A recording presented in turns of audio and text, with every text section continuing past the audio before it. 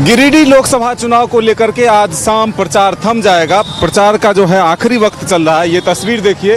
गिरिडीह में के डुमरी में अब दोनों जो प्रत्याशी हैं, उनके समर्थक जो हैं, वो इस जगह जमा हो गए हैं। एक रूट पर ही बाइक रैली निकालने की अनुमति मिली थी। देखिए, घंटों जाम लगा रहा। जेएमएम के भी समर्थक हैं बीजेपी और आजसू के भी समर्थक हैं। देखिए दोनों के समर्थक जो हैं कोई जय श्री राम के नारे लगा रहे हैं कोई जेएमएम जिंदाबाद। क्या कैसा रहा प्रचार? बहुत बहुत शानदार रहा बहुत शानदार। रिकॉर्ड तोड़ से मथुरा महतो जीत रहे हैं इस बार।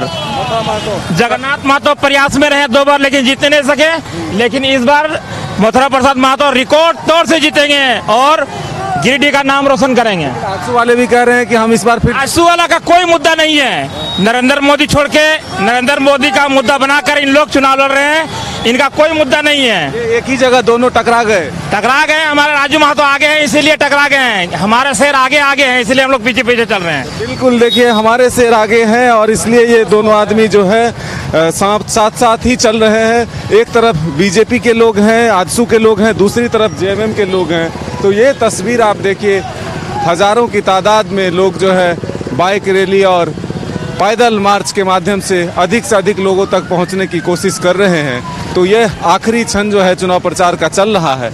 ऐसे में अधिक से अधिक ताकत लोग लगाना चाहते हैं। दोनों ही प्रत्याशी जो है अपने अपने समर्थकों के साथ सड़क पर उतरे हुए हैं। कोई बीजेपी समर्थक हैं, कोई आजसू समर्थक हैं, कोई जेएमएम समर्थक हैं, कोई कांग्रेस समर्थक हैं। कहाँ जा रहे हैं आप लोग? कहाँ जा रहे हैं? लक्ष्मण टुंडा। लक्ष्मण टोली। किसके समर्थन में आए हैं? परदेश होकर जी। किसको वोट करना है इस बार? कैलाश अपना तो ये तस्वीर देखिए केला छाप। जीतेगा। केला छाप जीतेगा। मोदी सरकार जीतेगा।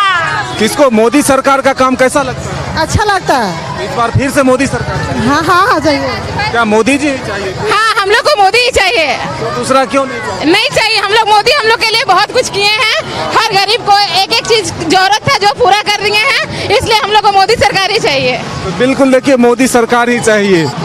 तो ये देखिए, बीजेपी और आजसू के समर्थक जो हैं, वो सड़क पर उतर चुके हैं। सुदेश महतो भी सड़क पर हैं।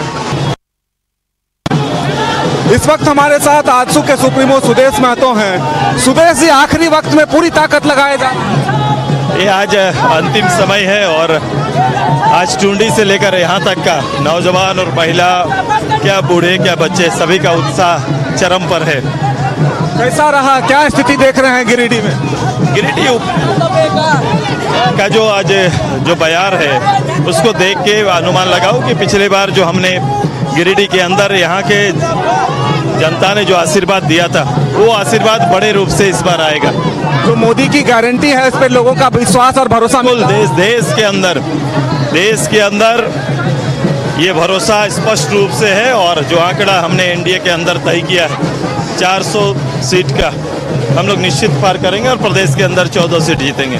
जो भ्रष्टाचार एक मुद्दा है ये लोगों के बीच पहुँच रहा है कि बिल्कुल बिल्कुल। लोगों की गाड़ी कमाई का हिस्सा सत्ता में बैठे लोगों के लिए नहीं है। क्या यहाँ सीधा मुकाबला किसके बीच देख रहे हैं? ये मैंने कहा झूठ और भ्रष्टाचार के बीच में मुकाबला है। गिरिडीह का कितना विकास हुआ और कितना बाकी है और क्या करेंगे आगे अगर जीतते हैं आपके देश के ये ये आप देखने का नज़रिया बदलो। ये चुनाव माध्यम ज़रूर संसद के माध्यम से जाता है लेकिन ये देश का चुनाव है प्रधानमंत्री जी का चुनाव है। और एक एक मतदाता जब मतदान देता है तो उसके वोट के पीछे मोदी जी का नाम रहता है। गिरिडीह से भी एक कमल जाएगा यहाँ केला जाएगा। बिल्कुल एक तेरह फूल और एक फल। तेरह फूल और एक फल।